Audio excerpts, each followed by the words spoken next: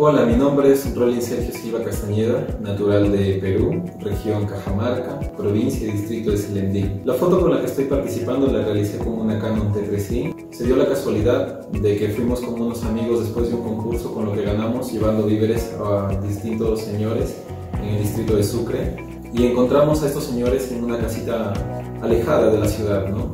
Nos llamó bastante la atención de que estaban olvidados ya por sus hijos, no se comunicaban con ellos y muy aparte que el señor don Carlos, por ejemplo, ya estaba perdiendo la memoria.